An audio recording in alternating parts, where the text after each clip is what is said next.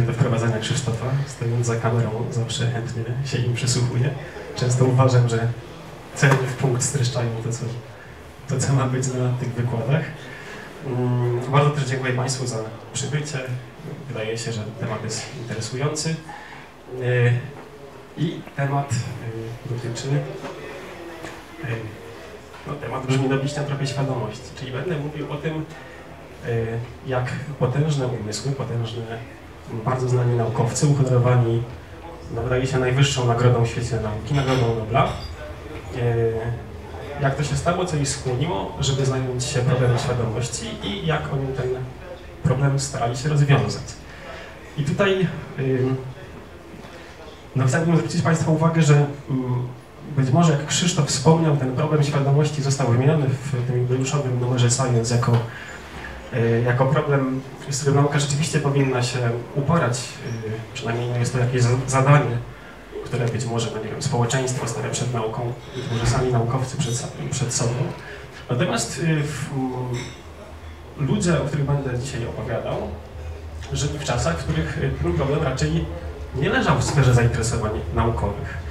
Y, Otóż, proszę Państwa, od y, bardzo dawna, właściwie odkąd ludzie zaczęli y, uprawiać, no może nie naukę w dzisiejszym, rozumieniu, ale myśleć powiedzmy racjonalnie, czyli od powiedzmy starożytności, domena świadomości, czy problem świadomości leżał w zakresie y, filozofii, y, tudzież teologii. Chciałbym też zwrócić uwagę, że problem świadomości jest bardzo mocno związany, przynajmniej historycznie, z takim pojęciem, które się pojawia w teologii, jest to dusza. Y, Ja dzisiaj troszeczkę na potrzeby takiego, mm, na potrzeby tego wykładu dokonuję takiego bardzo grubego przybliżenia. Będę y, używał często zamiennie słowa świadomość, dusza, czasem y, jaźń czy ja, bo takie terminy też się pojawiają, pojawiają y, w rozważaniach filozoficznych y, zamiennie, chociaż uważam, że jest to oczywiście grube przybliżenie. Natomiast na usprawiedliwienie siebie mogę dodać, że często ci naukowcy, o których będę mówił, sami y, używali tych terminów zamiennie, sami często nie definiowali, czym jest świadomość, czym jest umysł. Nawet często programowo, to znaczy uważali, że taka definicja może być y, na samym początku projektu badawczego zła, czy podawanie takiej definicji jest niewskazane. Chciałbym zacząć od tego, że z reguły yy, naukowcy, którzy zaczynają zajmować się problemami filozoficznymi, takie problemy sobie naturalizują. Yy, Co wydaje się całkiem zrozumiałe, no bo do, do tego ich przyzwyczaiła metodologia badawcza. Jednym z założeń, powiedzmy, takich me- metodologicznych nauki jest ten naturalizm, tak? Czyli przyczyny, może zjawiska w przyrodzie wyjaśnia się samą przyrodą, nie wychodzi się poza, nie wyjaśnia się przyrody jakimiś e, pozanaturalnymi e, przyczynami. I często taki naturalizm e, mm, przybiera postać redukcjonizmu, takiego już filozoficznego, czyli redukuje się e, pewne zjawiska do, mm, do zjawisk na poziomie fizycznym, czasem nawet e, właśnie tego eliminatywizmu, o którym tutaj piszę. Natomiast ja nie będę wyjaśniał może tych, e, tych terminów, one są tutaj napisane. Mm, Natomiast z drugiej strony mm, często to widzę, że filozofowie sobie lekceważą. Filozofowie tacy z krwi kości, powiedziałbym, y, ci, ci filozofowie, y, którzy zajmują się filozofią, często lekceważą sobie filozoficzne rozważania naukowców. Uważają, że ci ludzie nie mają wykształcenia filozoficznego i że tacy na przykład filozofujący fizycy, no to tak, ich filozofia jest taka, mm, taka no, no nie do końca poprawna. Ech, No i tutaj w przypadku świadomości wydaje się, że mm, te badania pierwszych naukowców nad świadomością yy, przybrały postać szukania miejsca dla tych badań świadomości. Tak? Gdzie ta świadomość, gdzie ta dusza, gdzie ta jaźń się znajduje w neuronalnej strukturze mózgu. Jakkolwiek to się śmieszne może wydać dzisiejszym filozofom, bo oni się czasem z tego nagrywają, no to początków takiej postawy należy szukać właśnie wśród teologów i filozofów. Na przykład, zacznijmy od tej teologii, bo ona jest tam powiedzmy pierwotnie, historycznie y, pierwsza. Y, W Starym Testamencie na określenie duszy używa się y, często słów, które określają organy ludzkie. Na przykład serce i nerki.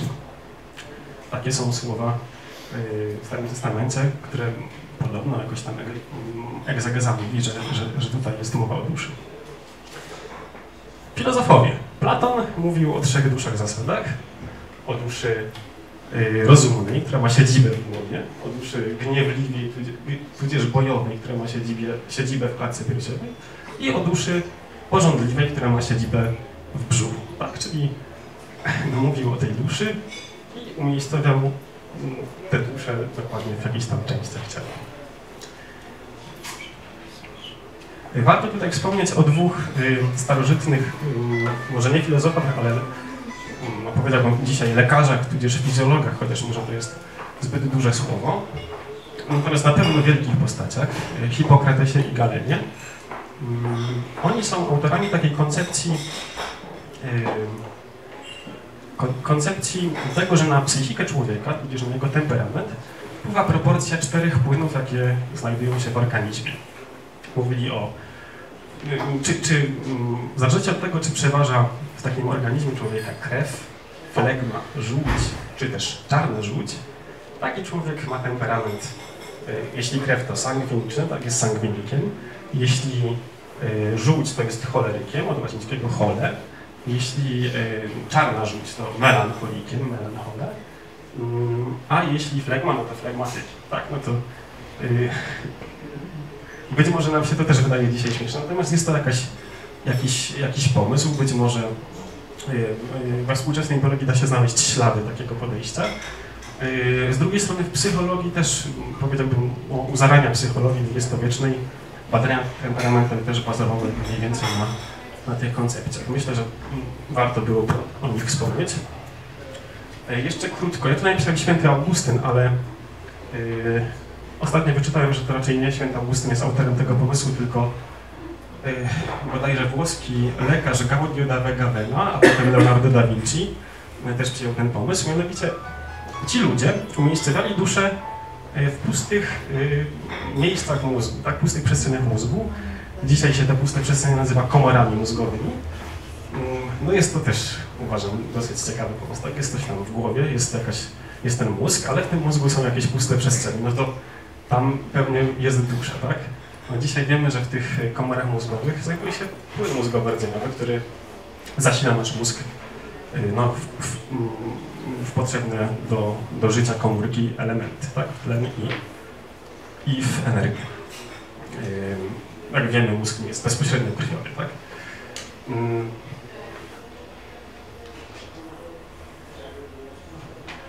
Tutaj jeszcze chciałbym wymienić Kartezjusza, bo jego koncepcja też jest dosyć ciekawa i filozoficznie, i naukowo, być może z pewnego punktu widzenia przynajmniej. Y, mianowicie mm, Kartezjusz jest ojcem wszelkiej maści dualizmów. On wyraźnie odróżnił duszę od ciała. Tak? Mamy królestwo rzeczy rozciągłych, czyli materii, i królestwo rzeczy myślących, res cogitans, tak? res extensa i res cogitans, y, czyli królestwo duchowe, duszy. Natomiast Kartezjusz uważał, że jest takie miejsce e, w ciele człowieka, ponieważ człowiek jest wyjątkowym zwierzęciem, wyjątkowym stworzeniem. E, w człowieku te dwa elementy się łączą, tak? Człowiek ma duszę i ta dusza potrafi władać całym. To była zagadka. Skoro dokonaliśmy takiego podziału, skoro jesteśmy dualistami, no to jak to jest, że, że dusza może wpływać na ciało, tak? No i Kartezjusz wymyślił, że e, w człowieku, w jego mózgu znajduje się taki organ, jest nim szyszynka i w tej szyszynce ten element duchowy łączy się i porozumiewa z elementem cielesnym. Y, I Kartezjusz nawet sam, y, sam y, wyznał w takim działku namiętności duszy. Wyznał to, że na tą szyszynkę wpadł przeglądając się anatomię ludzkiego mózgu, mianowicie ludzki mózg jest z grubsza rzecz biorąc symetryczny. Tak? Mamy prawą, lewą półkulę, E, z rzecz biorąc zawartość prawej i lewej półkuli jest taka sama, natomiast szyszynka jest takim e, organem e, nielateralnym, niesymetrycznym w mózgu. No i z tego powodu stwierdził, że to musi być ta szyszynka i że ona może właśnie wtedy komunikować się i zarówno z lewą półkulą, i z prawą półkulą, może zarówno z przodą mózgowym, tyłą mózgowym i tak dalej się komunikować. Jest mniej więcej, mniej więcej w centralnym miejscu w mózgu i jest mm, pojedynczym organem. No i tutaj oczywiście jest jeszcze wiele innych koncepcji. Jeśli ktoś jest zainteresowany, ja mogę odesłać do takiego artykułu dosyć ciekawego, niedawno wydanego, przeglądowego, który mówi o tym, jak tutaj ludzie na przestrzeni wieków umiejscowiali duszę w organizmie. Natomiast ja nie chcę się na tym zajmować, bo chcę szybko przejść do tych noblistów. Tak czy owak trzeba powiedzieć, że no, zarówno w renesansie, jak i w oświeceniu jeszcze kilka tych pomysłów się pojawiło, a to ludzie próbowali, różni lekarze, fizjologowie, także filozofowie, umiejscowiać duszę na przykład w korpus kalosum, czyli w spoidle wielkim, albo w płynie mózgowo-rdzeniowym i w innych jeszcze miejscach. To jest ogólnie rzecz biorąc bardzo ciekawa historia. E, uważam, że nawet ciekawa do opowiedzenia, natomiast to nie jest dzisiaj nasz temat.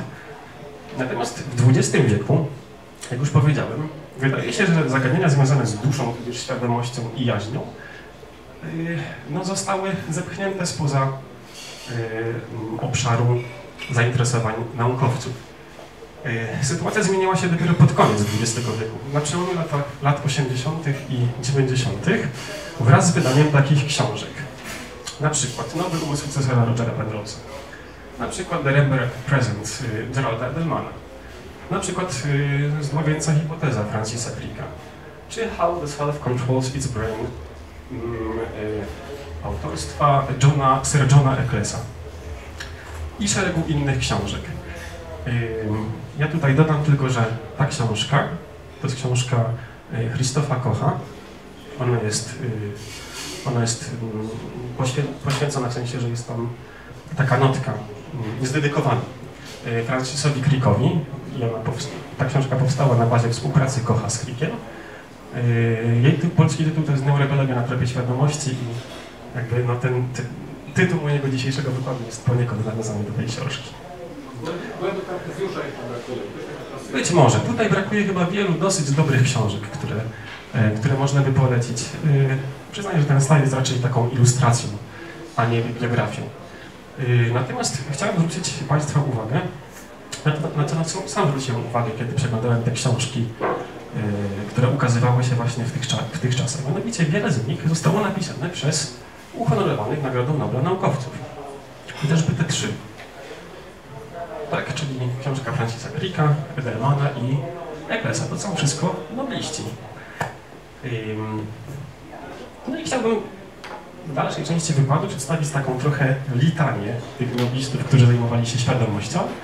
Wedle bardzo prostego klucza. To, co powiedzmy, przedstawić ich osiągnięcia naukowe, które, za które dostali tego, tego Nobla, tą nagrodę, oraz no, jakie te koncepcje, jakie pomysły na świadomość mieli. Y, I chciałbym zacząć od Eklesa, natomiast kiedy y, czytałem o Eklesie, to odkryłem, że jest inny noblista, jego nauczyciel, który również zajmował się świadomością. On trochę być może nie pasuje do pozostałych noblistów, które będę wymieniał po nim, ponieważ jego koncepcje świadomości są jeszcze bardzo mocno filozoficzne w takim klasycznym sensie. Natomiast myślę, że warto o nim wspomnieć. E, Sherrington dostał Nagrodę Nobla, dostał uhonorowaną Nagrodę Nobla w 1932 roku. Jest to oczywiście Nagroda Nobla w dziedzinie fizjologii lub medycyny e, i dostał ją za odkrycia dotyczące funkcjonowania neuronów. I co on w tej neurobiologii zrobił? Mianowicie przede wszystkim wprowadził pojęcie synapsy i zapoczątkował badania na synapsach. Podał klasyfikację Y, komórek, które odbierają bodźce ze środowiska. Podam klasyfikację receptorów.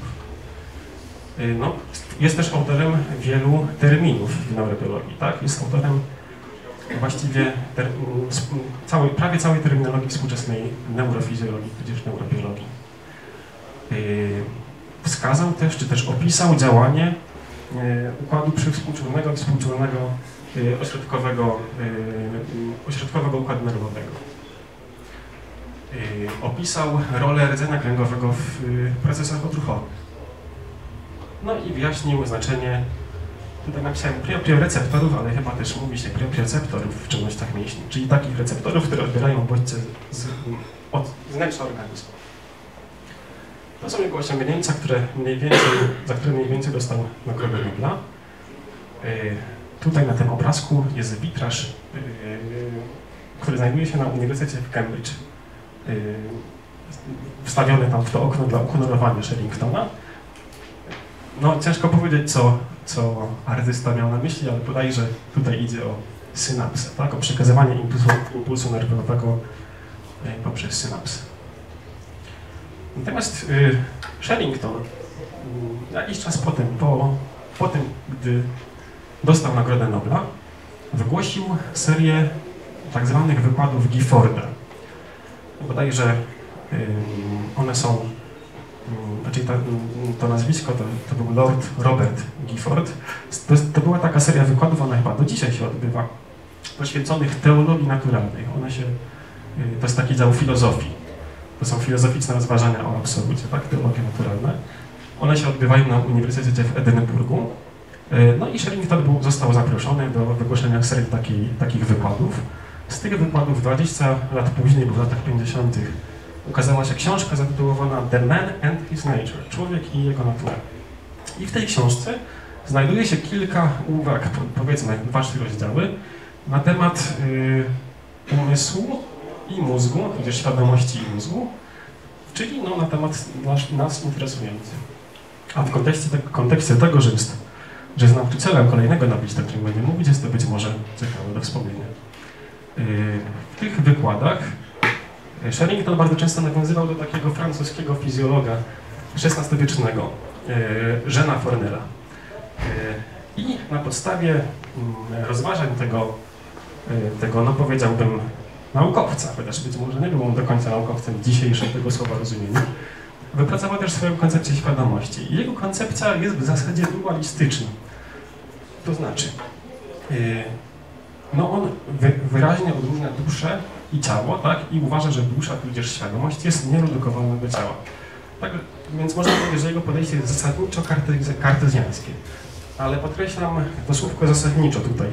Ja przygotowując się do tego wykładu przeczytałem kilka artykułów na jego temat i e, no, zasadni... w tych artykułach e, ci, ci filozofowie pisali, że w koncepcji Sherringtona można znaleźć wiele niuansów i że tam, no, może nie do końca to jest taki dualizm jaki byśmy chcieli. Ale mówi się, że jest to dualizm. Tak, czyli mamy osobną zupełnie duszę, osobne zupełnie ciało i dusza jest nieredukowalna do procesów neurologicznych, czyli do procesów ciała. Czyli w ten sposób, y, w jakimś tam sensie Sherrington y, no tutaj odstaje tak, od tych noblistów, o których, o których będzie mowa za chwilę. Tutaj tylko dla, dla, ilustracji taka szafka z jego próbkami histologicznymi. One nie służyły do badań, raczej do, do wykładu, do pokazywania. To jest ten Jean, Jean Fornel, na którym się wzorował, ten francuski fizjolog. A tutaj jest y, pierwsza strona jednego z, rozdziałów tej książki, The Man and His Nature. Y, o, o tym, jak y, mózg współpracuje z psy, tak, z, ze świadomością. Dałem tutaj tą stronę dlatego, że mm, żeby pokazać Państwu, że każda, każdy z rozdziałów tej książki jest ilustrowany jednym ze znaków Zodiaku. Jest to dosyć, dosyć ciekawe spostrzeżenie. Mm, I ta książka jest cokolwiek niejasna też, także no proszę też mi wybaczyć, że tak niewiele o tym. Natomiast y, jego uczniem był inny znany naukowiec, biolog, noblista, Sir John Eccles. I on dostał nagrodę 30 mm, lat później, w tej samej dziedzinie, za odkrycie mechanizmów jonowych pobudzania i hamowania na zewnątrz i wewnątrz błony komórkowej neuronów. Co się za tym kryje, postaram się Państwu wytłumaczyć za chwilę. Natomiast y, na razie powiem, że idzie po prostu o przewodzenie impulsu nerwowego y, w komórkach nerwowych, neuronach. Y, jak to działa? Otóż może o synapsach nie będę mówił, powiem tylko tyle, że, że impuls nerwowy przekazywany jest z komórki nerwowej do drugiej komórki nerwowej. Nie, mam nadzieję, że też to Państwo wiedzą. To nie jest impuls elektryczny, ale to, są, to jest impuls, można powiedzieć, chemiczny. Tak? To są pewne naładowane cząsteczki. I one przechodzą do innego neuronu, natomiast sam impuls jest przewodzony w tej części neuronu, tej podłużnej, zwanej aksony. I jak się to, to odbywa? Otóż y, odbywa się to przez polaryzację błony komórkowej tego neuronu. Y, z grubsza rzecz biorąc, w ciele, wewnątrz aksonu znajdują się jony naładowane mm, ujemnie w większości, tak, także tam y, przeważa y, mm, ujemny potencjał elektryczny. Natomiast na zewnątrz komórki znajdują się jony naładowane dodatnio. Y, oprócz tych ujemnie naładowanych jonów wewnętrznokomórki są też inne jony naładowane dodatnio, jony potasu, natomiast przeważają te jony naładowane ujemnie, więc komórka w stanie spoczynku ma ujemny potencjał elektryczny. Tak? On jest, sięga, y, jest, jest rzędu minus 70 milivoltów, mikrowoltów, przepraszam, mikrowoltów. Y, I kiedy taki y, impuls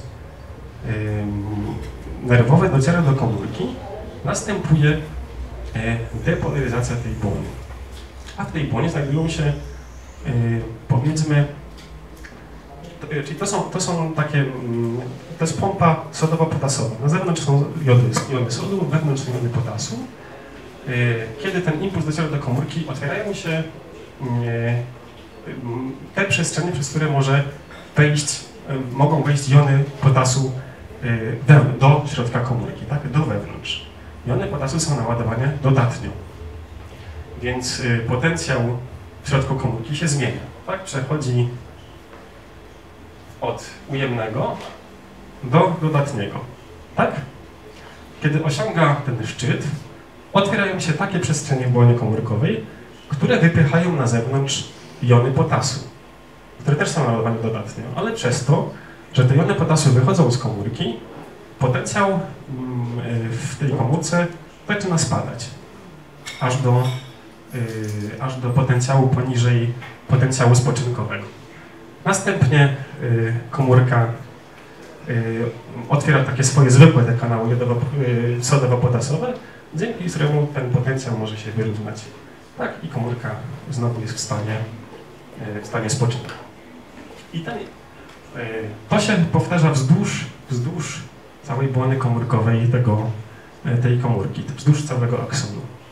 Oczywiście mm, pewne komórki mają osłonki mielinowe, dzięki czemu ten proces może odbywać się skokowo, ale zasadniczo ten proces w tych komórkach, które szybciej przewodzą ten impuls nerwowy, jest taki sam i polega na zmianie stężeń jonów e, wewnątrz i na zewnątrz aksonu. Czy trzeba coś powiedzieć jeszcze? Nie wiem, czy to dobrze wytłumaczyłem. Czy mają Państwo jakieś wątpliwości, czy to jest jasne? Jeśli jest jasne, to pozwolę sobie przejść do, do yy, koncepcji świadomości Sir Johna Ecclesa. Yy, jest to też dosyć ciekawa koncepcja, uważam, i dosyć nietypowa. Yy, to, co, to, o czym mówiłem, tak, to przewodzenie sygnału nerwowego to było to, za co dostał Nagrodę Nobla. Natomiast yy, potem, gdy został uhonorowany, zaczął zajmować się właśnie takim problemem. Zaczął współpracować na przykład z takim filozofem yy, Karlem Popperem. Napisali nawet razem wspólną książkę. I w tym okresie on jeszcze nie wyznawał tej, tej koncepcji, o, o której będę mówił. Yy, dopiero pod koniec swojego życia stworzył właśnie taką koncepcję. Mianowicie on powiedział tak. Mamy w mózgu, w korze mózgowej Y, czy może tak, w korze, w korze mózgowej neurony, komórki nerwowe ustawione są tak kolumnowo, tak? To jest powiedzmy przekrój przez, przez y, korę mózgową taki y, podłużny. Jeśli spojrzymy przez odpowiedni mikroskop korę mózgową, to zobaczymy, że te komórki są ustawione w takich sześciu warstwach kolumnowo w dół, tak? I on takie, taki obszar kory mózgowej o wielkości bodajże 60 mikrometrów nazwał dendronem, takich kolumnowo ustawionych komórek nerwowych. Nazwał to dendronem. To jeszcze jest cały, całkiem ok. No, wybrał sobie jakiś tam obszar mózgu, czy podzielił mózg na takie malutkie obszary, no i to jakoś tam nazwał. Natomiast druga część y, tej koncepcji już dosyć taka, no powiedziałbym, powiedziałbym no, mocno uteoretyzowana. Y, stwierdził, że za działanie każdego takiego dendronu odpowiada jeden psychon. Psychon koncepcji to jest taki psychiczny odpowiednik neuronu, taka komórka świadomości, która miałaby działać na te dendrony w taki sposób, że zmieniałyby prawdopodobieństwo pobudzenia komórek w tym dendronie. E, Zasadniczo na tym polega jego koncepcja. Proszę zwrócić uwagę, że to też jest dualizm, tak? Czyli on tutaj, ja tutaj nie chcę wchodzić w filozofię Poppera, ale on trochę odszedł od, tej, od tych koncepcji, które wypracował z Popperem, na rzecz zwykłego dualizmu, tak? Mamy, mamy no, ten element ciała, tak? Czy mózgu, te dendrony, no i mamy też ten element psychiczny. I to są zupełnie dwa niezależne światy, tak? Nie, nierunkowane do siebie. No i w jakiś tam sposób dziwny te, te psychony yy, wpływają na działanie tych dendronów, tak? Wpływają na zmianę prawdopodobieństwa pobudzeń komórek w takich dendronach. To był Sir John Eccles. Kolejnym noblistą, który zajmował się świadomością, i to można powiedzieć, że zajmował się świadomością wprost, był Roger Walcott Sperry. Dostał on Nagrodę Nobla w 1981 roku w tej samej dziedzinie za odkrycie lateralizacji półkul mózgowych. Za odkrycie, że półkule mózgowe są wyspecjalizowane no, w jakichś tam konkretnych, określonych zadaniach. Y, mam nadzieję, y, że chciałbym podkreślić, że jeśli idzie o specjalizację półkul mózgowych, to nie jest, nie idzie o to, co tak się popularnie uważa, że tam, tam lewa półkula jest matematyczna i, i odpowiada za zdolności takie inżynieryjne, prawa półkula to jest z kolei artystyczna i, i jakieś tam prawda, zdolności malarskie i tak dalej, muzykę, taniec. No to nie, nie jest aż tak proste. Natomiast mam nadzieję, że Państwo e, zrozumie, na czym polegały jego badania z tej mojej opowieści. E, zacznę od tego, jak doszedł do badania nad, nad e, lateralizacją półkul mózgowych. Otóż on na początku zajmował się no, transferem informacji wizualnej z oka do mózgu. I badał sobie takie oto żaby. No, te badania były dosyć ciekawe. On wycinał tym, przecinał nerw wzrokowy w oku tej żaby i tak to potem składał, że oko było odwrócone zarówno z lewa na prawo, jak i w drugą stronę, tak? Było, było kompletnie odwrócone, tak? I łączył też te oczy, ponieważ wiemy, że szlak wzrokowy jest skrzyżowany. On łączył te oczy tak, że prawe oko nie było połączone jak normalny mózg z lewą półkulą, a lewe oko z prawą półkulą. Łączył je ipsilateralnie, tak? Czyli łączył prawe oko z prawą półkulą i lewe oko z lewą półkulą. Tak? I przekręcał je z lewa na prawo. Tak czy owak idzie o to, że ten szlak wzrokowy się odtwarzał yy, nie według tego, jak oko było aktualnie odwrócone, tylko według starego układu, tak? Dobrze, no i jak zachowała się taka, taka żaba po, po takiej operacji? Otóż ta żaba miała kompletnie pomieszane yy, no, strony świata. Na przykład reagowała yy, po przeciwnej stronie na bodziec, który znajdował się po stronie innej. Tak na przykład tutaj taką mamy muchę. Widziała muchę, no mucha była z jej prawej strony powiedzmy, ona tym językiem sobie yy, próbowała wyciągnąć po lewej stronie i na dole. Tak, tak samo bodźce, na bodźce u góry reagowała na dole, na bodźce na dole reagowała reakcją w górę.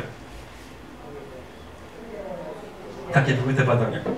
Robił też badania na kotach, proszę Państwa.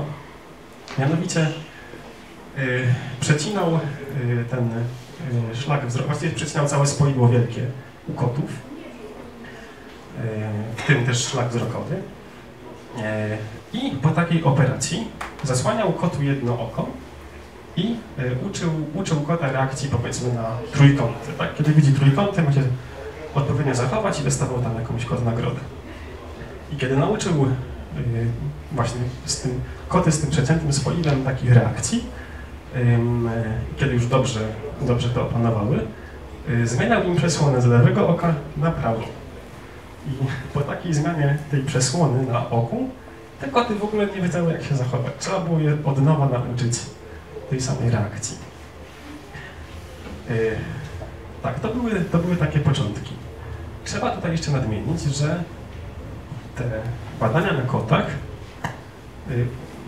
no, doprowadziły, może też Sperry nie jest do końca tutaj autorem tego osiągnięcia, ale one pomogły na pewno odkryciu, że przecięcie spoideł pomaga czy może potrafi ulżyć chorym na epilepsję, na padaczkę. Tak po takim przecięciu spoidem yy, no, jest takie przecięcie spoidem pełni też funkcję terapeutyczną, tak? Można wyleczyć przynajmniej objawy padaczki w taki sposób. I takie operacje zaczęto przeprowadzać też na, na ludziach. Oczywiście nie w celach eksperymentalnych, tylko w celach klinicznych, tak? w celach terapeutycznych. I taki pacjent po przycięciu spoidła wielkiego, po przycięciu, to się też nazywa y, ciało modelowate, tak? corpus callosum, właściwie po takiej operacji, kiedy już doszedł do zdrowia, to zachował się zupełnie normalnie. Tak? I sądzono, że taka operacja w ogóle nie ma wpływu na, no powiedzmy, na jego umysł, na jego świadomość. Natomiast Sperry no, wyprowadził takie wnioski z tych swoich poprzednich badań na zwierzętach, że jakiś wpływ e, taka operacja powinna mieć. I y, oczywiście poprosił y, tych ludzi, oni wyraźnie na to zgodne, żeby wzięli, takich, y, wzięli udział w takich eksperymentach poznawczych. One wyglądały tak. Taki człowiek sobie siedział przed ekranem, monitorem komputera. Na tym monitorze po dwóch stronach, po lewej i prawej, wyświetlały się jakieś słowa. Dajmy to, niech to będzie klucz i słowo kubek. Yy, one się wyświetlały na tyle długo, żeby można było je jakoś zakodować, natomiast na tyle krótko, żeby nie można było wykonać ruchu gałek, gałek, tak ruchu sagodowego oka, żeby nie można było ruszyć oczami i przeczytać prawym okiem słowa po lewej stronie, a lewym yy, okiem słowa po prawej stronie.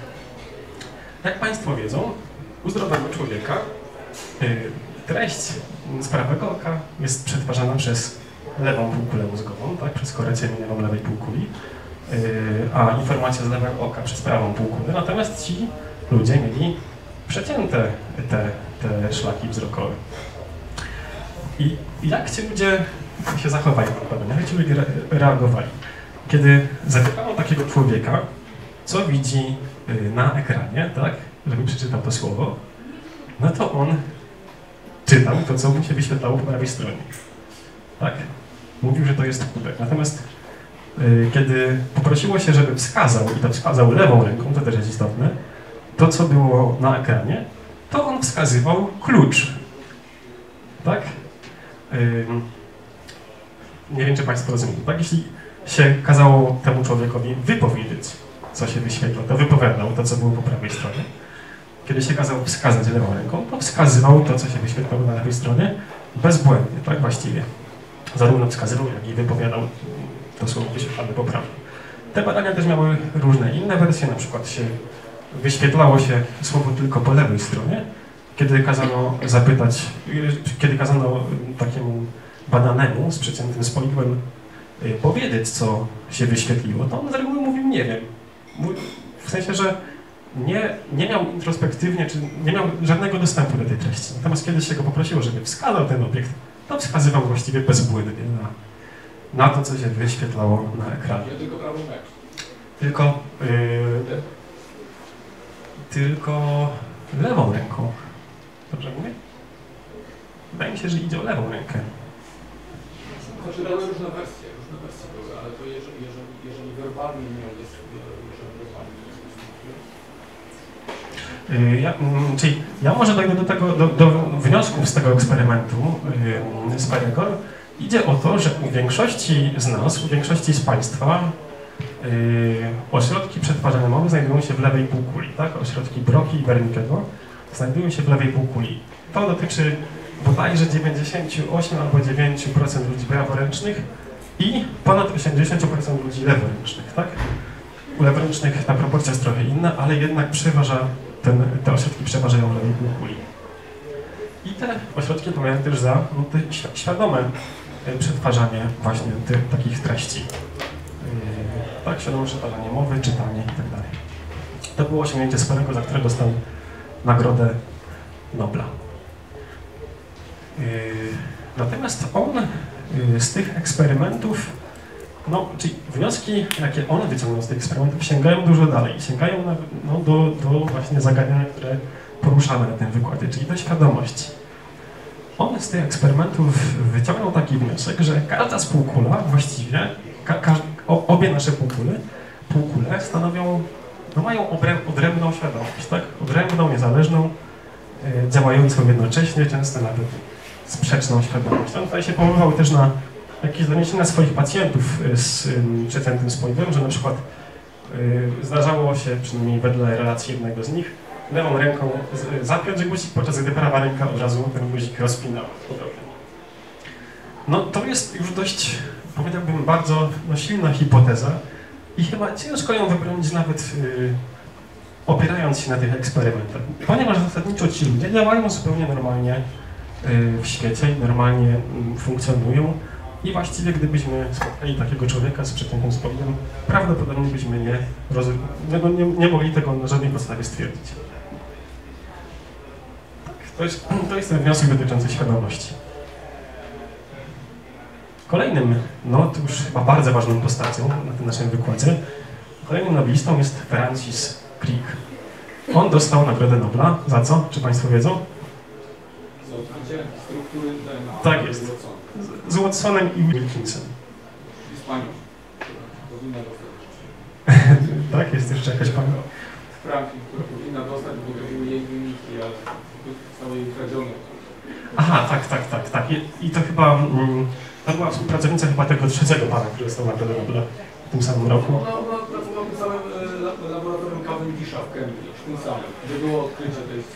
Tak, ja słyszałem, że, że mm, właśnie, że e, Watson i Crick dostali y, wyniki, y, wyniki badań innej grupy badaczy, spośród których tylko jeden, jed, to była dwójka też badaczy, spośród których tylko jeden z nich, znaczy jeden z nich nie wiedział, że te wyniki są komuś przekazywane. I oni na podstawie tych badań stworzyli swoje i, i w ten sposób właśnie odkryli tę strukturę. To były wyniki krystalografii e, takiej pani Franklin, która zmarła na raka później szybko, jako młoda jeszcze kobieta, ale e, no to jest jakby dobrze wyjaśnione. Watson napisał w książce, że e, jak najbardziej się... Czyli przyznał- przyznał też Przyznał, przyznał, przyznał rację i tak naprawdę ona też powinna dostać Nagrodę Nobla, była to też. A czy ona żyła w trakcie, kiedy oni dostali bo ona już Nobla? później już zmarła na raka. Takim osobom ym, ta, ta instytucja nie przyznaje, czyli nie przyznaje się E, perspektywy, to znaczy, chyba że w wyjątkowych wtedy w okolicznościach. 1953 w 1953 roku, kiedy przyznawali tego Nobla, bo to było dosyć szybko, to ona jeszcze, jeszcze żyła. Dobrze, ja może tutaj nie, skup, nie skupmy się na historii za bardzo. Yy, Ja jestem biofizykiem, więc akurat tak to, to, to, przepraszam. yy, ba, bardzo się cieszę, że są takie uwagi z sali. Być może do tego jeszcze nawiążemy. Ja chcę tylko bardzo szybko powiedzieć o tym, jak ta struktura DNA wygląda, ale mam nadzieję, że Państwo wszyscy to wiedzą. Mianowicie ta struktura tworzy taką, yy, taką, no, taką postać, która się nazywa alfa-helisą. Yy, Brzegi tej alfa-helisy tworzą. Yy, Cukier się nazywa dezoksyryboza. On jest połączony takim wiązaniem N-glikozydowym z zasadami azotowymi. Ich jest cztery. Adenina zawsze z tyminą i guanina zawsze z cytozyną. I te zasady azotowe są połączone takimi yy, mm, wiązaniami no, łatwo, łatwo wodorowymi.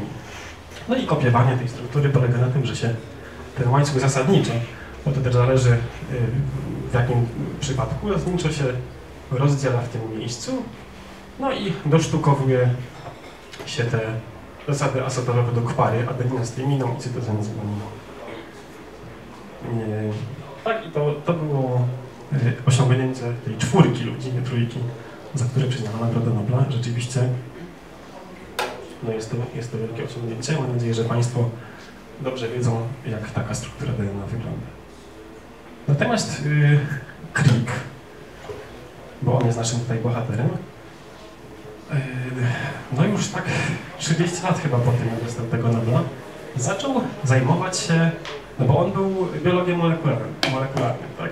ale zaczął się zajmować zupełnie odrębną dziedziną biologii, mianowicie neurobiologią. No coś, coś go do tego skłoniło, do końca nie wiadomo co. Natomiast potem, kiedy on się tej neurobiologii tak przyjrzał, no to doszedł do takich trzech wniosków. Po pierwsze, y, uznał, że ta neuronauka składa się z wielu subdyscyplin i zasadniczo te dyscypliny są izolowane od siebie, że nie ma kontaktu między tymi naukowcami, którzy powiedzmy no, zajmują się jedną, i, jedną z nich i drugą z nich. Po drugie, wielu badaczy takich behawioralnych traktuje mózg jako czarną skrzynkę. Znaczy, że daje się takiemu człowiekowi coś na wejście, jakieś zadanie do wykonania, no i mamy jakiś efekt, tak? I, I w ogóle nie patrzę na ten mózg, po prostu tam się coś, jest czarna skrzynka, coś tam się dzieje, ale nas to nie interesuje, badamy tylko zachowanie. Y, No i po trzecie zauważył, co najważniejsze chyba, że neurobiolodzy nie chcą mówić o świadomości z jakiegoś powodu, tak? Że zasadniczo temat świadomości w neurobiologii jest tematem tabu. Y, No i on postanowił to zmienić. Y, Zaczął współpracować z no, kilkoma neurobiologami, czas, także z neurofilozofami tak zwanymi, na przykład z Patricią Churchland, która notabene w zeszłym roku w maju w tym miejscu wygłaszała też wykład. Y, Natomiast jeśli idzie o temat świadomości, zagadnienie świadomości, no to tutaj raczej y, będą nas interesować jego prace wspólne właśnie z tym Christophem Kochem. Y, Na podstawie tych prac Crick napisał książkę, za którą zatytułowaną y, Zdumiewająca hipoteza. Proszę zwrócić uwagę na podtytuł. Tak, nauka w poszukiwaniu duszy. On też użył słowa dusza w tym miejscu. No i jakie są, jakie są treści tej książki? Przede wszystkim uznał, że neurobiologia powinna wydrzeć y, temat świadomości filozofii i teologii. Tak już na tyle dojrzała, że może się zająć tym trudnym tematem, tematem świadomości. Że świadomość, tudzież dusza, powinna przestać być y, zagadnieniem filozoficznym, a stać się zagadnieniem mm, badań naukowych. Y, Po drugie, ta zdumiewająca hipoteza. Co to jest? Skąd się wziął ten tytuł? No to jest taka y, y, hipoteza, że świadomość jest niczym więcej jak, jak zachowaniem kolosalnego zbioru komórek nerwowych, glejowych, tworzących się atomów, jonów i cząsteczek, które wpływają na nasze stany mentalne lub tworzą nasze stany mentalne, wręcz, tak? Jest to y, w gruncie rzecz biorąc redukcjonizm, tak? Zredukowanie y, świadomości do, do struktur i działania mózgu. Ale co najważniejsze, Crick wraz z Kochem jest autorem, oni ukuli taki, taki termin bardzo popularny, no może nie w samej neurobiologii, ale być może w neurofilozofii, tak trzeba by powiedzieć, tudzież dosyć popularny w kognitywistyce, to się nazywa neuronalne korelaty świadomości. To jest też program badawczy. Mianowicie próbuje się znaleźć takie obszary mózgu, które y, korelują, czyli współwystępują z y, jakimś stanem mentalnym świadomym. I ten, ten program ma dwa założenia. Przede wszystkim y, należy stwierdzić, że no, nie wszystko, co się dzieje w naszym mózgu jest jakoś tam uświadamiane przez, przez podmiot, przez umysł, tak? Przez świadomość. Yy, mm, Może, może zacznę od tego, że też nie, nie wszystko, co się dzieje w naszym umyśle, tak? Podkreślam, umyśle, nie mózgu jest, dzieje się w sposób świadomy, ale, ale przede wszystkim nie wszystko, co, no nie każdy proces mózgowy odpowiada za jakiś tam proces, za jakiś tam stan mentalny. Yy, I oni uznali, to jest to pierwsze założenie, że musi być coś w mózgu, jakieś takie wydarzenie, jakieś działanie nie wiem, neuronów, grupy neuronów, które odpowiada za to, że dany proces jest procesem świadomym. Tak i trzeba taki, tak, tak, taką, takie miejsce, takie działanie mózgu odnaleźć. Y, A drugie założenie, bo to pierwsze myślę, że nie jest jakoś bardzo kontrowersyjne. Drugie może, może jest już bardziej. Drugie założenie mm, polegało na tym, że no, takich, y, takich y, stanów świadomych jest wiele. Na przykład może być świadoma percepcja wzrokowa, którą oni zresztą sami się zajęli. Może to być jakieś, jakieś odczucie bólu i tak dalej. I oni uznali, że jeśli odkryjemy tajemnicę, jeśli odkryjemy neuron, neuronalny korelat świadomości jednego z nich, to no, jeśli nie rozgryziemy je wszystkie, to przynajmniej będziemy bardzo blisko do, do, do zrozumienia no, wszystkich takich neuronalnych kolorów świadomości. Mm. Tak, czyli no, ich podejście do świadomości jest redukcjonistyczne. Oni redukują świadomość do procesów mózgowych i stworzyli taki program badania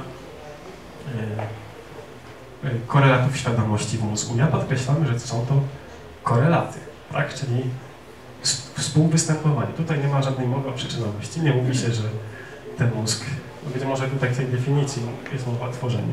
Natomiast no, to i, tak jeśli się odkryje taki korelat, to będzie to tylko korelacja. to tak jeszcze może uprzedzam trochę dyskusję, bo chciałbym o tym na samym końcu może coś powiedzieć. Natomiast y, mm, to jest ostatni nobelista, który będę wspominał. Gerald Edelman.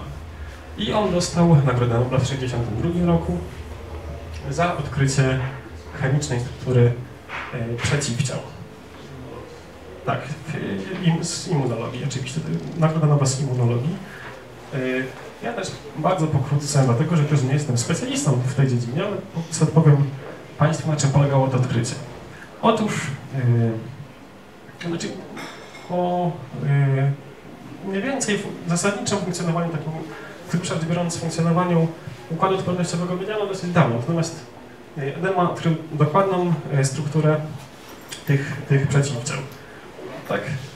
I zasadniczo takie przeciwciała immunoglobuliny składają się z dwóch, właściwie z czterech łańcuchów białkowych.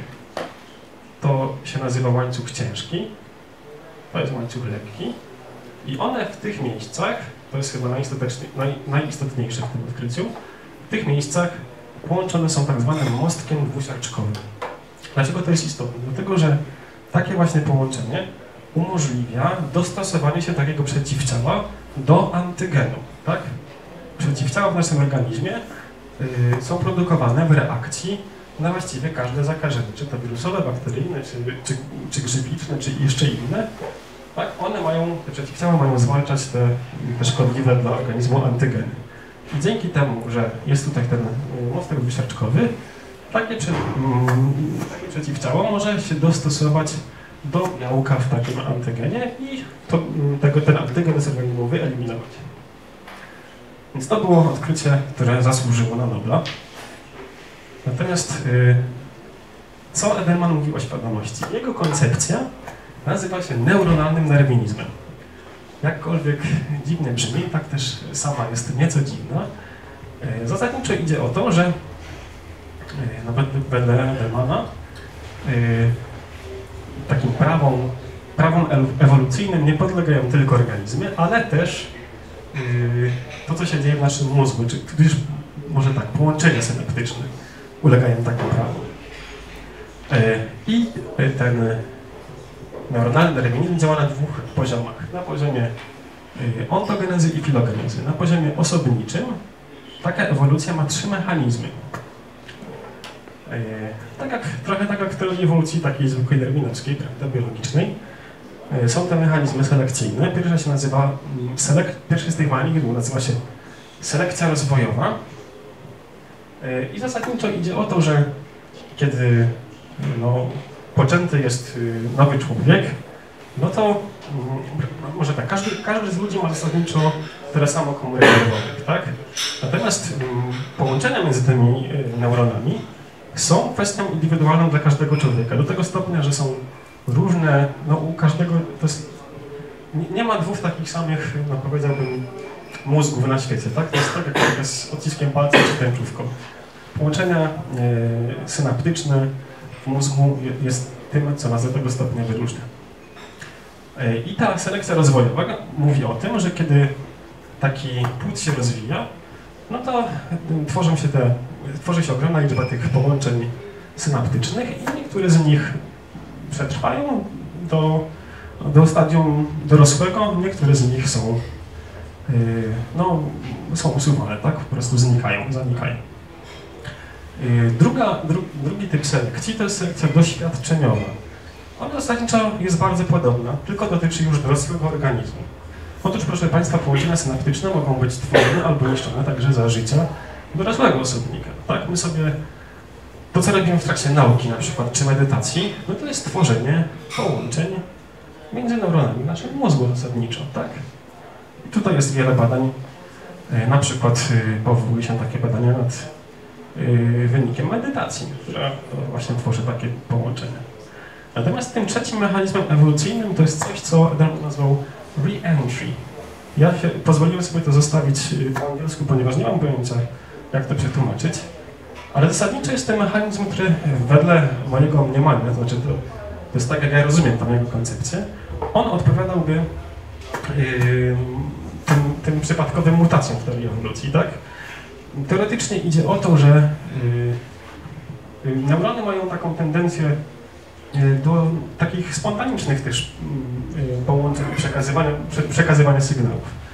E, Raczej idzie, idzie tutaj już o przekazywanie sygnału niż połączenia takie synaptyczne. Y, I no, prze, przetrwa y, to połączenie, które osiągnie jakiś sukces, na przykład stworzenia jakiegoś, jakiejś reprezentacji czy, czy, czy, czy perceptu, tak? Natomiast te, te połączenia są cały czas jakoś tam w, w tym naszym mózgu. Natomiast na, na poziomie e, gatunkowym też taka ewolucja zachodzi e, i ona polega na, po prostu na przyroście, no powiedziałbym, e, przy, przyroście mózgu, tak? I tutaj Edelman różni taką świadomość pierwotną i wtórną. Świadomość pierwotna e, to jest taka przytomność po prostu, tak? Że to jest to, jest to co to jest taki na proces czuwania, tak? To, co nam towarzyszy, gdy, gdy wstaniemy rano z łóżka i, i, i towarzyszy nam do końca dnia, aż, aż nie położymy się spać, chyba że nas ktoś walnie cegłówką po drodze w głowę i tą świadomość tracimy. Y, I ona no, wynika z, prawda, z tych procesów ewolucyjnych zachodzących między tymi niższymi strukturami w mózgu, tak? Czyli układem limbicznym, y, pniem mózgu, czy, czy, też, czy też wzgórzem i tak dalej. Natomiast lu- my ludzie różnimy się od zwierząt tym, że mamy też tak zwaną świadomość wtórną. I ona się wiąże z powstaniem kory mózgowej, czy z rozwojem kory mózgowej i według Edelmana przede wszystkim y, z, no, z, z powstaniem struktur odpowiadających za przetwarzanie języka. Tak, czyli z tym, że, że mamy język. Chciałbym zapytać, czy, czy Państwa przekonują takie koncepcje świadomości? Od razu mówię, że to są koncepcje no, wybitnych ludzi, noblistów. Bo mnie na przykład nie do końca żadna z tych koncepcji, To jest po prostu historia. Bardzo, Tak, bardzo w dużej- historia. w dużej mierze, chociaż to nie jest jakoś bardzo dawno temu, jeśli to wcześniej. jest wykładniczy. 20 lat, y, patrząc na, jeżeli postęp jest wykładniczy, no to jest, to jest kawał czasu. Po prostu nie Zgoda, zgoda, zupełnie zgoda. Natomiast Ale warto, warto po prostu posłuchać filozofa, bo to jest, to jest cała taka przyjemność, prawda? Więc, więc byłem bardzo zadowolony. Dziękuję bardzo. Natomiast y, ja bym chciał w ramach podsumowania przytoczyć y, taki fragment rec- recenzji książki Edelmana. Ona się ukazała tuż właściwie po wydaniu książki Edelmana, więc, więc no, ta, ta, przynajmniej te słowa to były nam, zostały wypowiedziane na bieżąco. Y, Proszę posłuchać. Dla starzejących się neuronaukowców charakterystyczne jest, że zaczynają zaprzątać swoje głowy problemami świadomości. Ja tutaj, to jest trochę kąśliwa uwaga, Ja tutaj chciałbym przykład fizyków też przytoczyć. Często się kąśliwie mówi o fizykach, że e, no już u schyłku swojej kariery próbują, e, większość z nich, znaczy może przynajmniej niektórzy z nich próbują skwantować grawitację. I te, takim kwantowaniem grawitacji, takim wielkim problemem, wielkim pytaniem dla neurobiologów jest no, za- zagadka świadomości. E, Sir John Eccles, Roger Spencer, Charles Sherrington są tego przykładami. E, Gerald Edelman, e, to jego dotyczyła ta recenzja, w której w 1972 roku otrzymał Nagrodę Nobla z medycyny za pracę z immunologii, a który ostatnio prowadził badania nad e, mózgiem, właśnie dołączył do jej grona. O ile ich ambicje można uznać za godne podziwu, o tyle rezultaty zazwyczaj za godne pożałowania. Nie, nie da się ukryć, że, że no często te koncepcje są... My też y, trochę jesteśmy niesprawiedliwi, bo oceniamy je jednak po czasie, ale często te koncepcje nawet na pierwszy rzut y, oka wydają się no, jakieś takie przynajmniej filozoficznie niedopracowane.